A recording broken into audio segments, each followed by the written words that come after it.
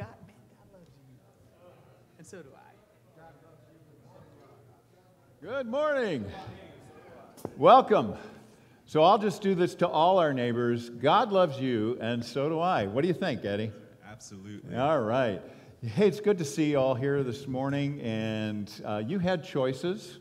We're glad that you chose to be here. That's a good thing. Well, what do we got going on here, Pastor Eddie? We've got a lot of exciting things going on. I want to remind you of our Growing Young survey. Um, we are still in that phase right now. The team, we're in the listening phase, and so we want to hear about your experience. How do you experience our church? How do you think we're doing um, at embracing and loving young people? So if you haven't taken that survey yet, it'll only take you 10 minutes. Um, we would love, love, love to hear your opinion um, as we move forward. Uh, that's important. Okay, and then we got a rummage sale coming up for the school. And uh, this has always been a big event. If you have items to bring in, um, we will be receiving them the week before June 4th. So, starting on, on that Sunday before, um, you, can, you can arrange to have your stuff here. Uh, this, this really benefits the Worthy Student Fund and helps to support our school, which is our most important mission field. Amen to that. Uh, we've also got another youth vespers and game night coming up May 15, 6 to 9. That's going to be at Journey Christian School. So if you're from seventh grade all the way up to 12th grade, come out, um, enjoy food, fellowship, and games. All right, and then uh, graduation's coming up, and we have, I believe, six six graduates out of our uh, out of our school this year. That- I think that's a new record. Uh, but if you know of, uh, if you have family members that are graduating from any of the grades, um, in terms of uh, high school, college, um, let, let Cheryl know. And we want to recognize all of our graduates uh, coming up here at the beginning of June. So um, please do that. And then, yeah, you know, one of the things that, that when you flip on the light switch and the lights go on, you don't, you don't pay any attention to it. But when you're walking into a dark room and you flip the lights on and they don't go on, you notice it. And um, if, if the sound starts squealing, or you know you drop out or something like that happens um, everybody tends to look back and say what's going wrong but you know we have a great group of people working back there that are behind the scenes and one of the things that i learned about our technology it was top notch at one time but it is dated it's wearing out and it also is labor intensive. Our volunteers are putting in more hours than they need to, and they're, they're just hardworking and they don't really complain. But this is an opportunity for us to support them. I mean, you, you know, Ed, to Eddie, you're, you're kind of close to all this. What's, what do you see going on?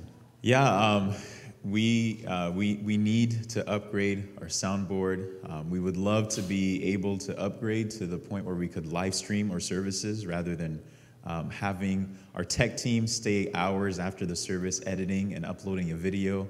And so we are asking and begging for your money. Um, so on your way out today, Um, if you want to just drop your entire credit card in the mailbox, we accept those. Uh, Social Security, um, whatever form, checks, Oh, cash.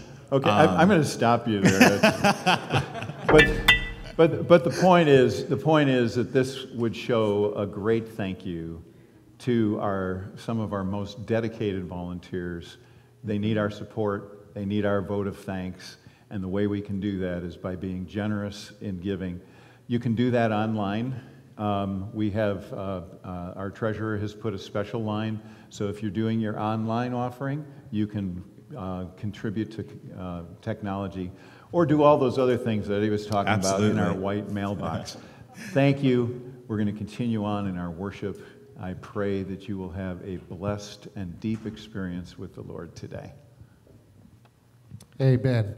And like our technology, our soundboard lights and so forth, I too am old and dated. So I persuaded my young friend Zach Parks to come up and lead worship. Everybody say hi, Zach. Hi, Zach.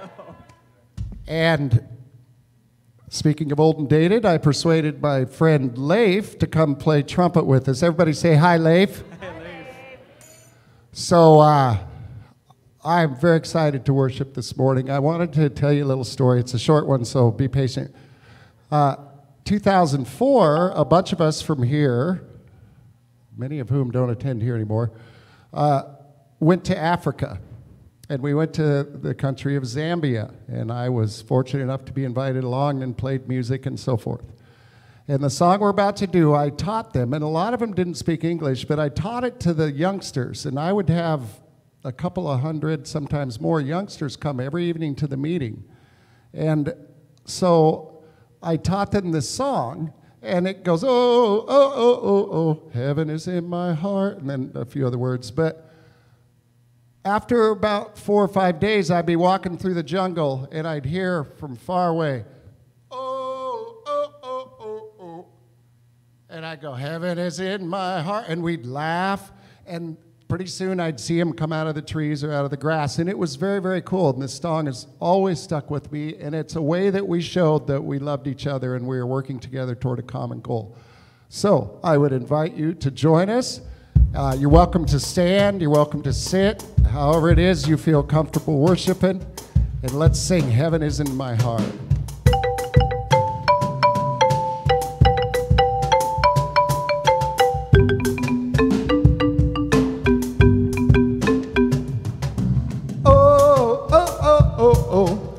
Heaven is in my heart. Sing it again now. Oh, oh, oh, oh, oh. Heaven is in my heart. Oh, oh, oh, oh, oh.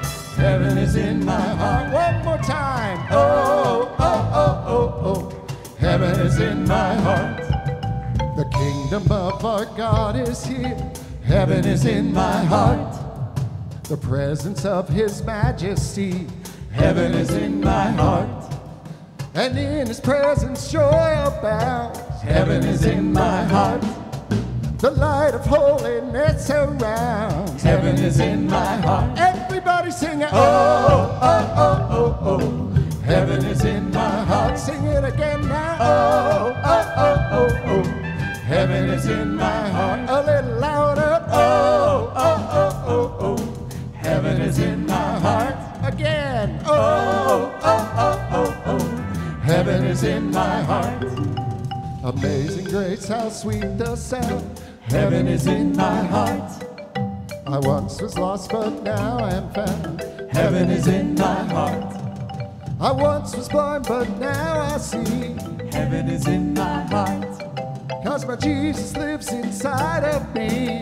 Heaven is in my heart. Everybody sing it. Oh, oh, oh, oh, oh.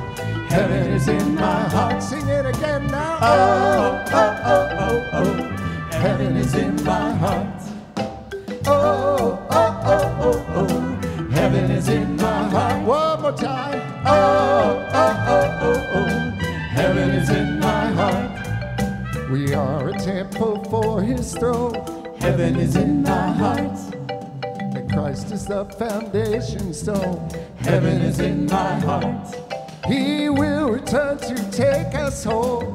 Heaven is in my heart. The Spirit and the bride say, Come. Heaven, is in my heart. Everybody singing, Oh, oh, oh, oh, oh. Heaven is in my heart. Sing it again now. Oh, oh, oh, oh, oh. Heaven is in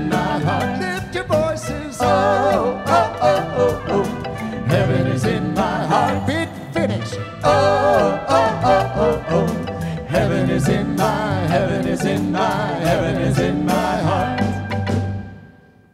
Amen.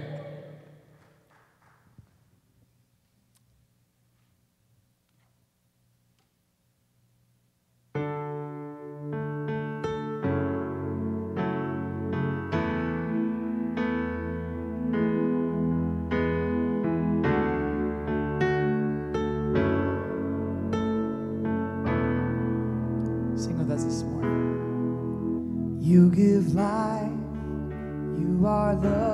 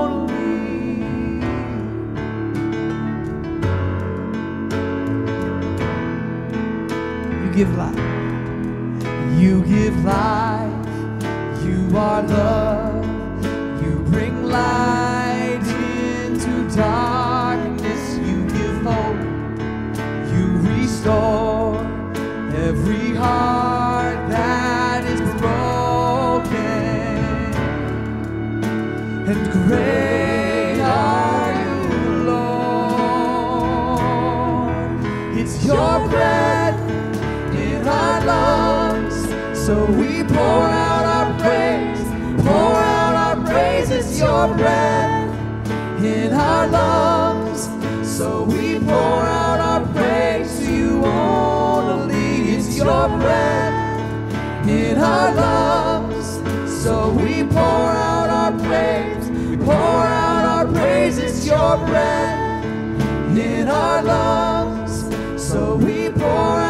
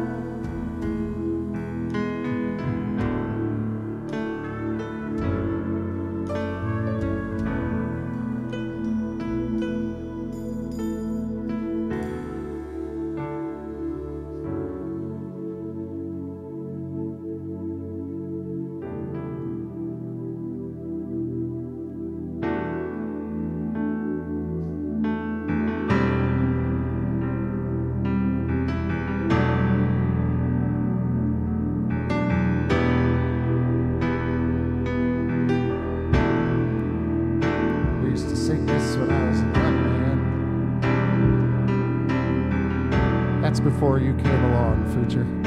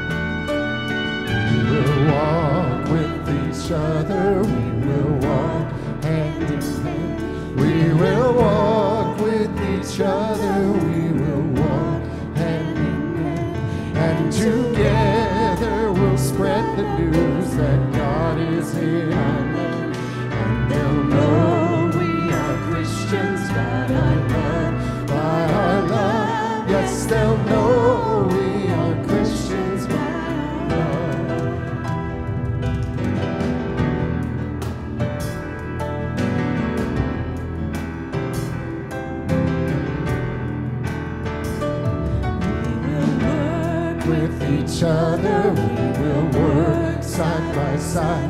We will work with each other. We will work side by side. And we'll guard each man's dignity and save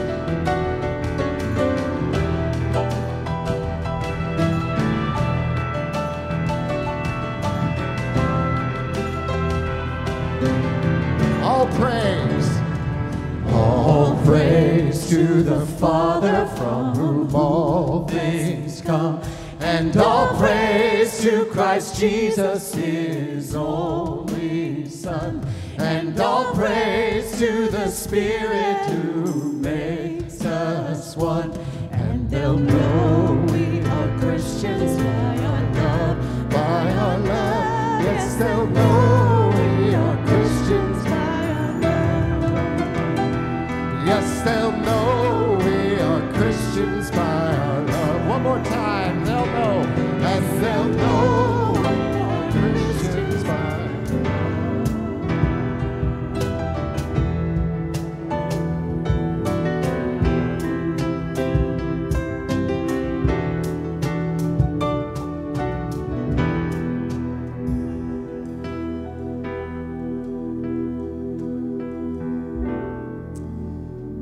Genesis, it tells us that God created us, and God said, in our. We are built to be people of community because God, God's self, is a community. Scripture tells us, May the God of steadfastness and encouragement grant you to live in harmony with one another in accordance with Christ Jesus. The fruit of the Spirit are things of community, love, joy, peace, patience, kindness is in there. This morning, sing with us as we ask God to continue to be a part of adapting our hearts to be those that love each other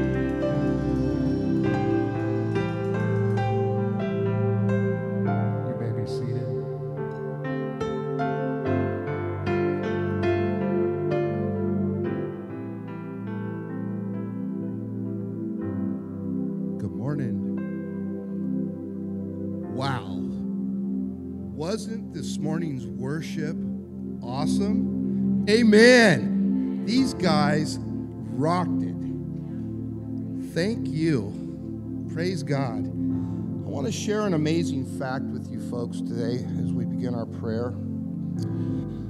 Bioluminescence is an amazing phenomenon in which a chemical reaction in living organisms produces light without any appreciable heat. This cool light, usually green or blue, results from a chemical reaction involving specialized phosphorus containing molecules in the organisms. Bioluminescence is found in creatures ranging from common firefly, glowworm, to some species of bacteria, algae, and fungi. This built in lighting system can also be found in many invertebrate animals like squid, jellyfish, worms, crustaceans. In fact, in the dim midwater or twilight region of the ocean between 200 and 1,000 yards deep, 90% of all animals, including shrimp, produce light.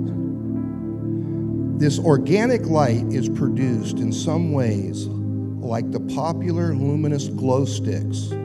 When a glow stick is snapped, two chemicals mix, react, and create a third substance that gives off light. Marine organisms do essentially the same thing within special organs or cells. One substance, luciferin, is mixed with an enzyme luciferase, and a new molecule is formed that gives off the glowing blue green light. Science has barely touched the surface when it comes to replacing this efficient light production. Bioluminescence is used for a large variety of reasons. Some deep sea fish are equipped with freshly organs that produce luminance which prey is attracted. The flashes emitted by male and female fireflies are used as species specific signals for mating.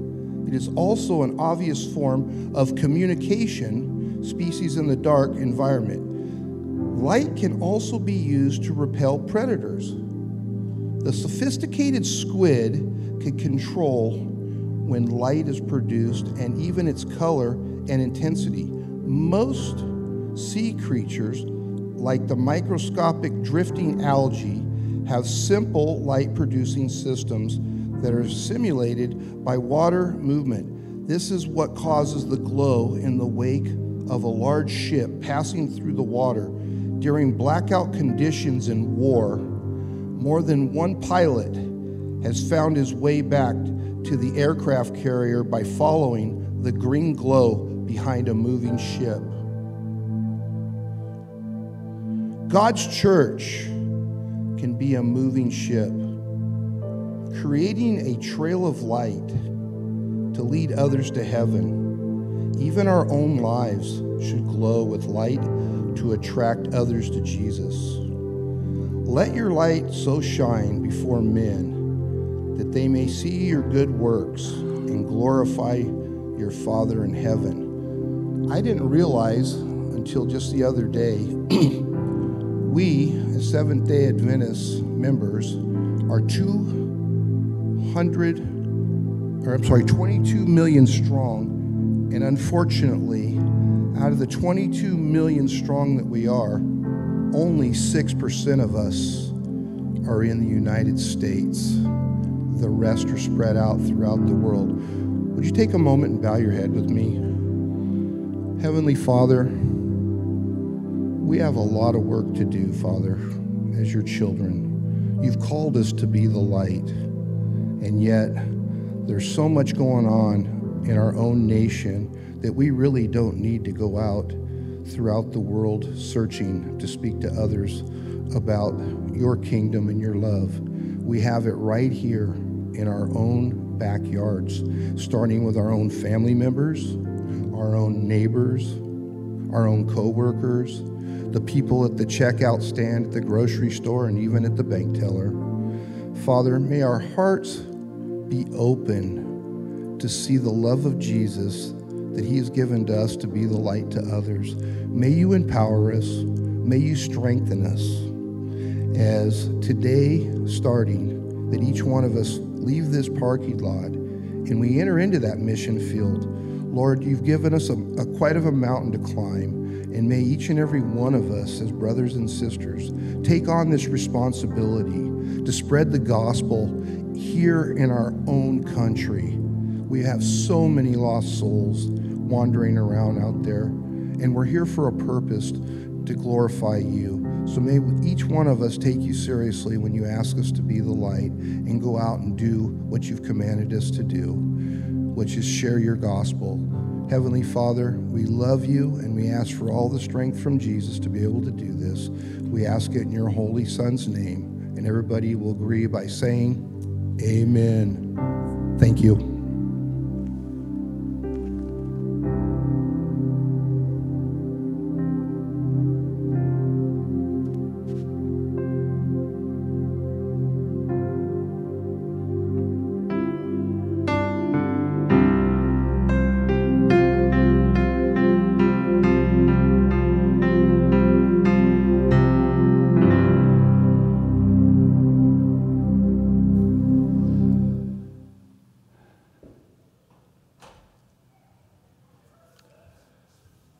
So, what is community? What is it about community? I mean, we all are hardwired for this need and this desire to belong to a group of people. Community is, is just at the core of our being something that we have that we have a need for. We have a need in families. We have a need for friendships. We have a need to belong to others. And I'd, I'd like to suggest that what we can look at uh, community as a compound word, a common unity. Common unity. And what is it that brings people together into a sense of community, into a sense of belonging? Well, I'd like to suggest that what we have is a two part um, or two perspectives of what can draw people together as, as a group.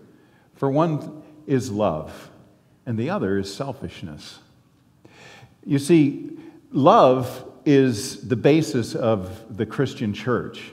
It is meant to be that thing that draws different people, diverse people from all different backgrounds and, and cultural um, identity and all different ways of um, socioeconomic layers and uh, job and occupation layers and um, just different backgrounds coming together under the banner of love. Or selfishness. Selfishness can make a community as well. And as we look down through history, we, we can see that selfishness expressed in, in, um, in various coalition ways to bring people together has been used uh, to propagate war. That we identify an enemy, we dehumanize them, we give them nicknames, we make them the enemy, and then we come together to war against them for a righteous cause. And we can see in cultures where there are cultures that have been divided because there is ethnic cleansing, because we have made an enemy and it's driven out of selfishness under the labels of hatred, um, justice, any number of things. But ultimately, it bo- boils down to selfishness, selfishness, which is another word for sinfulness. You see, our human nature is sinful, and it tends to label and identify people that are different for, from us. It, it comes to this place where there's an us and them, us and them, that we are okay and they are not okay. And, and so our fallen nature, our sinful nature, tends to make community out of people that are similar to us and enemies out of those who are different from us. And we see that used as a device, even in our common culture with media and whatever, we are able to create an enemy and the right people. And in, in, in this culture today, we are seeing more and more angry rhetoric, more heated words, more divisiveness that is trying to break apart. But that is the antithesis of what God's love is all about. God's love is to bring people together, it's to bring people from a them to a we, that we draw together as a group of we. Consider what Paul was inspired to write about the expressions of love. And we find this in 1 Corinthians chapter 13, the love chapter. And I'm just taking one part of it. But think about the words that Paul uses as the, pers- as the uh, active element of what love does and what love looks like and, and, and the power of that love. Paul writes this Love is patient and kind. Love is not jealous or boastful or proud or rude. It does not demand its own way. Notice again, this is all opposite of selfishness. It keeps no record. It is not irritable. Oh, I, I think I lost that one yesterday. It is not irritable, and it keeps no record of being wronged. It does not rejoice about injustice, but rejoices whenever the truth wins out. Love never gives up, never loses faith, is always hopeful and endures through every circumstance. Prophecy and speaking in unknown languages and special knowledge will become useless. but love will last forever. In another version, love never fails. You see, it is, it is this ideal of love. And when I read all of, all of what Paul has written here, understand that what he came from was a culture of us and them. The Jewish, the Jewish people had become a proud subculture in, in the world. And instead of being a light to the world, they began to get focused on the purity of who they were and the dirtiness of all others. They even subdivided within the, the um, ethnic Jewish culture that there were those who were not as good as those who were pure. And, and so there was hatred. Even we see this with the Pharisees and the Sadducees. Didn't think much of each other. We see the Samaritans who were considered half breeds. So all of this is, is working against the whole idea of what God designed for, for community. And I like what Zach shared that God is we, the Father, Son, and Holy Spirit are the, the kernel of community. You can't have community with just two. Community needs to be three or more. And, and so here we have this ideal of love that is spoken of. And as I look at, at this description, I think to myself, oh my goodness, I am not scoring very high on this measure of love. I have moments where I am in a good place, but I have other times that I'm not. But here is the heart of what brings together community. This is where we find people valued, people respected for what they, what they are and who they are and who God made them to be, where we feel safe in that community, where we feel loved in that community, where we feel value in that community. A place where, where we know that we are going to be accepted for who we are. I mean, that's what God intended. And, and when you think about what Jesus was willing to do out of his love for all of us, that he came into a world that didn't want him because we were more important to him than life itself, and that he came into the world, he says, You are worth it so that he could build community out of the brokenness that had happened in, in the, the people of God before his time arriving into this world. God wants us to be different than what's happening out there. He wants us to be unique and special and attractive to people who are looking for something authentic and real that they want to be a part of. God wants us as a community to be a place where people can experiment in, in their spiritual life and not be condemned and shunned and broken by criticism. God wants this place to be the safest place in the world a community where people can come and feel, feel safe enough to grow. A place where people can feel safe enough not to put on an image. And, and where people don't have that nagging thought of, if they really knew who I was, they would not want me.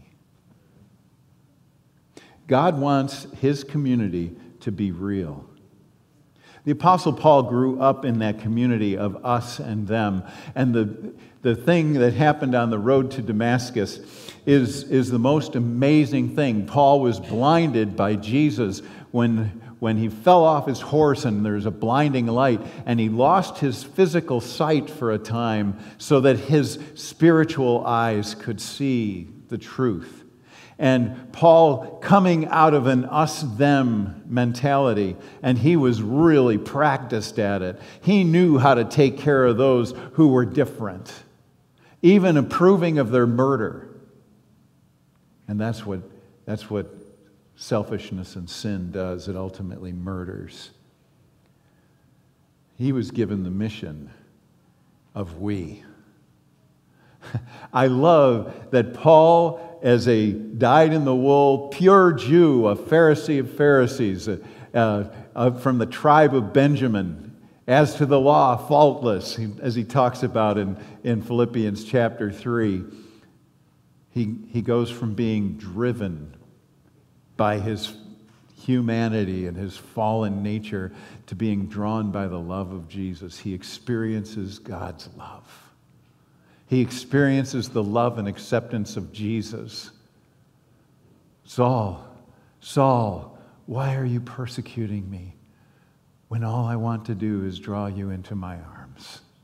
And he is given the mission to go out into the world the mission that had been forgotten about, about by his people, to go into the world as a light to the Gentiles, and with the impossible task of taking two diverse cultures and bringing them together under the love of God, but that's what God's love does. God's love brings different people together into, into a, an otherworldly experience because when God's love is allowed to roll free and be spread around, it's an amazing thing. You see, God's love, as Paul talks about uh, uh, God's love, it's agape love. Agape love is always others centered. God's love is others centered. That's why in John 3:16 we read, "For God so loved, agape the world, that he gave his only son. You see, agape love is always others centered, that whoever believes in him should not perish but have everlasting life. Agape love is the heart and soul of what we are as a people as we receive the love of God. You see, it, uh, as I've said so many times, it's that vertical connection with God. God pours his love into us. It is foreign to us in our fallen nature. He pours his love into us, and in this vertical relationship, God pours his love into us. That love responds back to God. As we worship him, as we get to know more about him, as we experience his love, it does something inside of us. It changes us from the inside out. It is a supernatural process. It does something in us that we cannot do for ourselves. Religion of the past has focused on trying to, trying to control our behaviors so that we fit into the image of what others expect of us. But the, the love of God has a supernatural power to transform us from the inside out so that we begin to see things in a new way and we respond in a healthy way. It's how God makes us healthy and transforms us into a new creation. So, the Apostle Paul, who experienced that love of God, all of a sudden he begins to spread that love horizontally.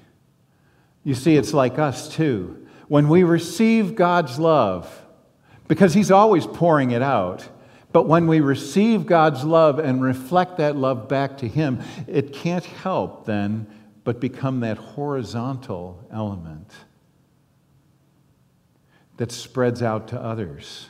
The way we treat others, the way we are with others, and the way we just are. It's who we become, it's not who we who we try to be, it's who we become. And so, this Paul, who met Jesus and, and experienced his love, writes in Galatians chapter 5, verse 13 For you have been called to live in freedom, my brothers and sisters, but don't use your freedom to satisfy your sinful nature. See, that's, that's the antithesis of what love does.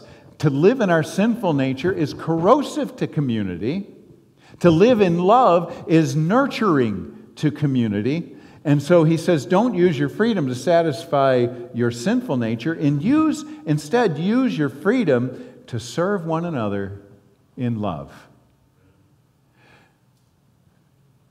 Because agape love is always others centered. And how does this work in a community? If I am selfishly focused because of my sinful nature, I am always looking for what I can get advantage of, what I can manipulate, what I can attain for myself, what I can do to make myself fuller of whatever it is I want, to control more people, to, to, to be someone who dies with the most toys, like the bumper sticker.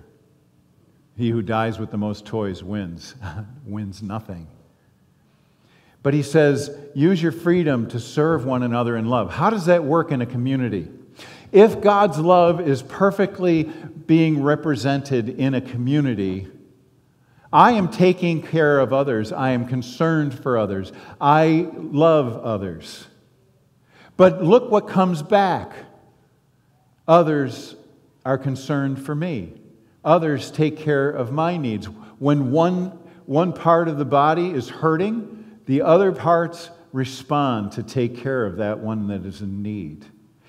It's what God intended is that we would draw together and take care of one another, be concerned for one another, love one another, forgive one another, accept one another, build one another up.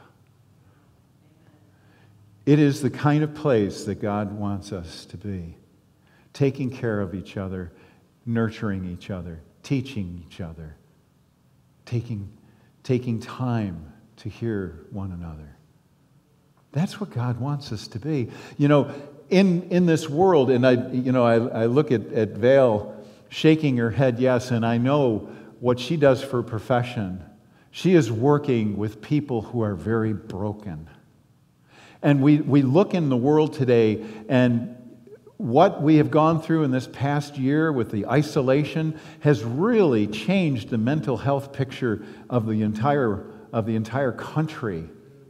And, and can you imagine how much healthier people would be mentally if they felt like somebody cared about them? If they belonged to a community that actually reached out to them, to listen to them, to help them, that's what God wants, is that this would be a place where people would come in and feel like they are important and they have an identity and that they belong. The mental health industry is overwhelmed because people are so isolated, because people are so broken from not being loved.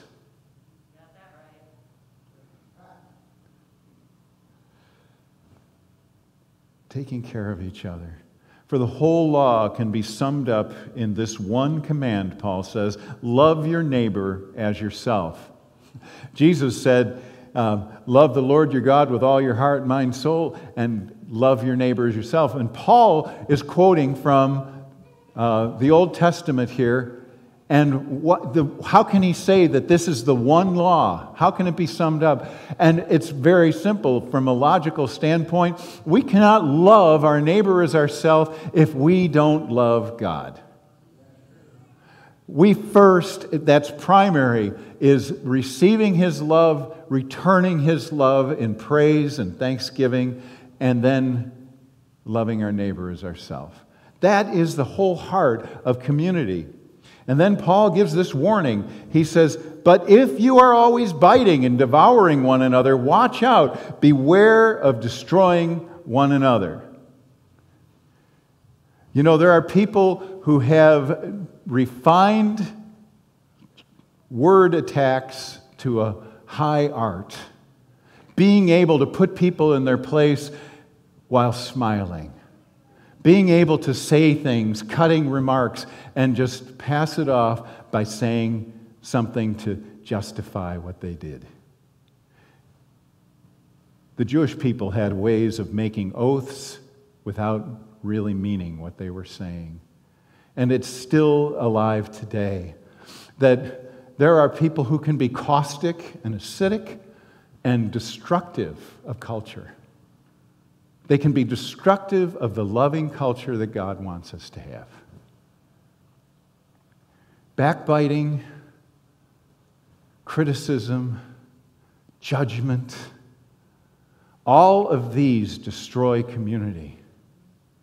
They take away the beauty of what God intended. And you can imagine how God's heart is pierced when he sees unhealthy people doing mean things inside his flock.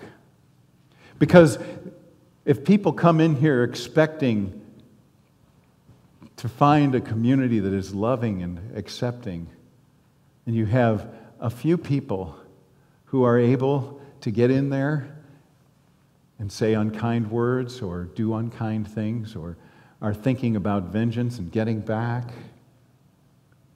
it really damages the community. But God's love is strong. When you look at the Christian church today, we are the most divided group of followers of Jesus in the world. Other, other religions have maybe two or three divisions, but when you look at the Christian church today in the world, there are literally thousands of denominations and ministries, and each one, to one degree or another, thinks that they have the real way. They think that they have the real religion. And this is a masterstroke of Satan. This is a masterstroke that through history he has been able to fragment the movement of Jesus Christ in the world. Paul talks about that Christ is the head of the church and we are the body. But when we begin to divide ourselves and, and, and distinguish ourselves from other followers of Jesus, we are not serving the Lord. By His grace, and I believe with all my heart in the last days that there are believers, true believers in every place. That under the Holy Spirit, we will be drawn together in a unity of purpose. And when we see the darkness in this world today, know that there is an equal and greater reaction in the spirit of light. That in God's spirit, He is working to bring people together. But we now are one of the most divided in, in the world today, thousands of denominations. The Savior was crucified to end division and to bring unity. And we are not serving Him well within a church if we are subdividing ourselves. You know, it's, it's bad enough in the world, but if it's happening in the church, God forbid. And, you know, I want to say, I'm not preaching this because I think this is a huge problem in this congregation because we love it here. We have felt so loved and accepted. And I, I know we are not perfect. I know that we, we have our warts and wrinkles, but I, I have found that this is, this is the most loving church that I could ever be a part of this community. And I'm grateful for that. We will miss you, trust me. So, what if we made our goal to strive for a level of humility and love? What if we made that our focus to be humble in love and that God would work in us and draw us closer to Him? What if, what if we made that our purpose? We could spend time praying that God would make us deeper in love with Him and more in love with one another. That we would make that our primary duty to love others. Paul tells us to be eager to maintain unity of the Spirit and the bond of peace. So I take that to mean that the Spirit in one spirit, we find unity and are all baptized into one body, Jews or Greeks, slaves or free, and all were made to drink of one spirit. Friends, we have an imperfect reflection of what God intends for our, for our body, for our believers here that are gathered together. We are imperfect people, but at the, at the power of God's love is that He can bring us together into a deeper unity and a deeper functionality, a deeper health. And the world around us, outside, will notice. So count the cost of disunity. count the cost of disunity when relationships break down, disagreement inevitably follows. And every disagreement between, between Christians is a triumph of Satan. If you descend into disunity, you hand Satan a victory. Maintain peace and deny him the triumph. This is spoken from a negative standpoint, but let's put it into a positive standpoint. It says, Be the first to seek peace and reconciliation. You are a Christian today only because God was the first to seek peace with you. Think about that for a moment. You are now called and equipped to be the first to seek after peace and to attempt to pursue and maintain unity. As you do this, you have the high honor of acting as an imitator of God. What a high calling. Think about that. We have the opportunity to be more power filled as a body by seeking unity, by being peacemakers, by seeking that deeper relationship with God. We have that power. 1 Peter chapter 1 verse 22 shares these words, "You were cleansed from your sins when you obeyed the truth, so now you must show sincere love to each other as brothers and sisters. Love each other deeply with all your heart."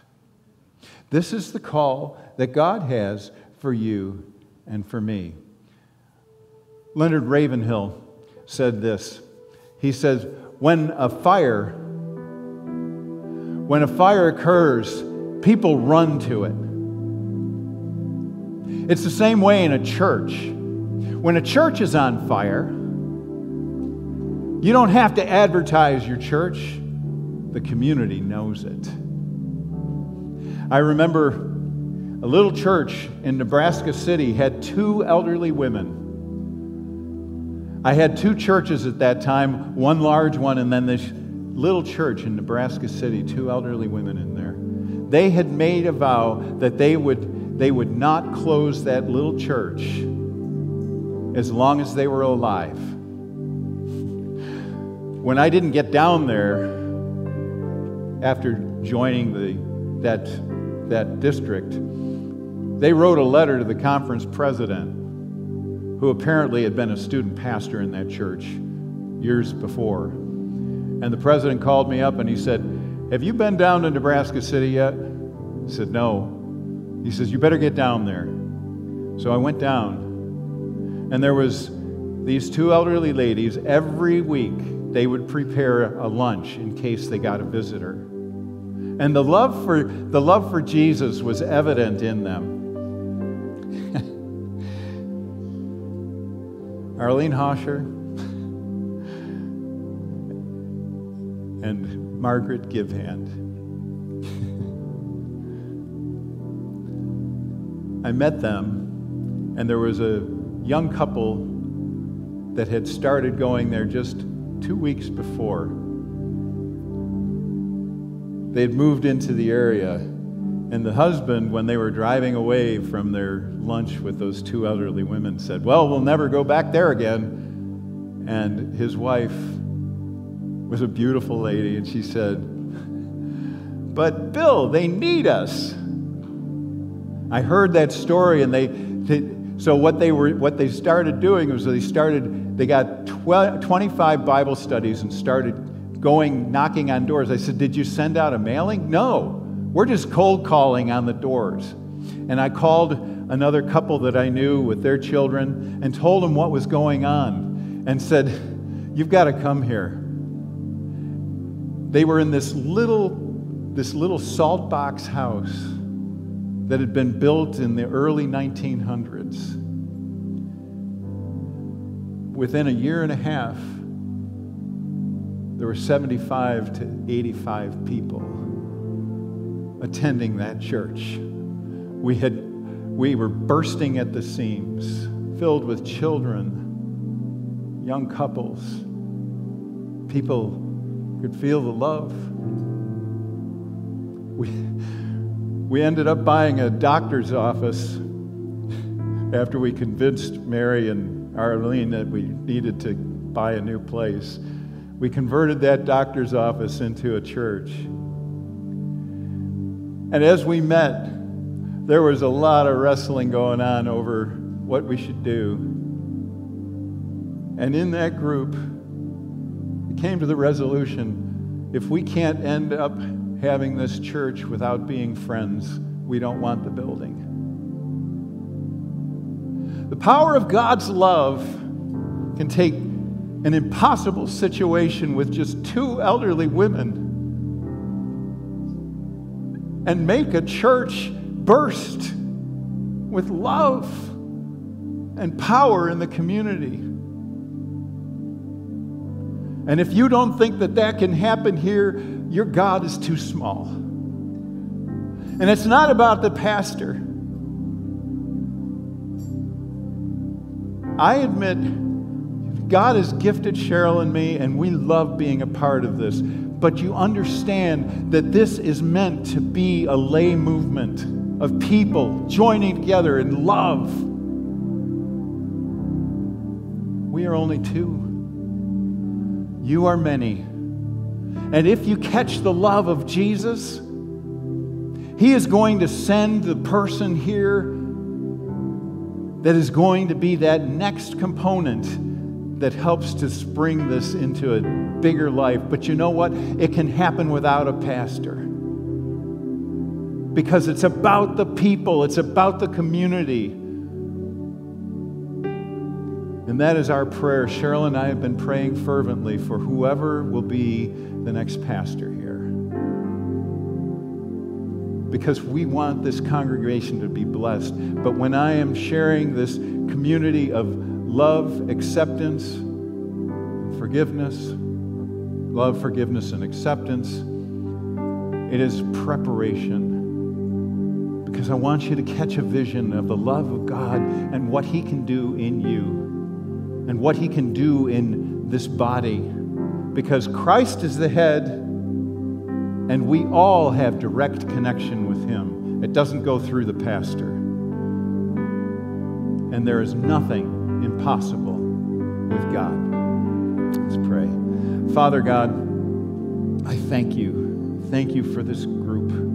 I thank you for this, this message that we can share the power of your love, the good news of your love, that your love transforms us and makes us something otherworldly because we are citizens of heaven, waiting for a new heaven and a new earth. We have something important to share. Lord, pour your spirit into us. Make us humble to receive your love and to share it liberally. And we pray these things in the powerful name of Jesus, the author and perfecter of our faith. Amen. And all the people said, Amen. Amen.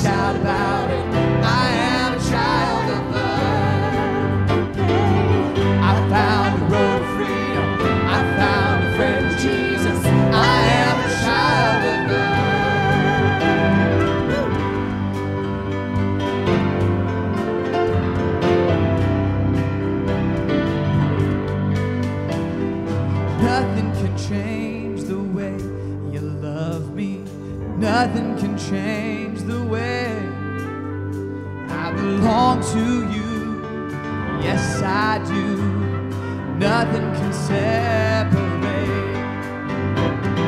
Nothing can change the way you love me. Nothing can change the way I belong to you. Yes, I do. Nothing can separate. This is my commandment that you love one another, that your joy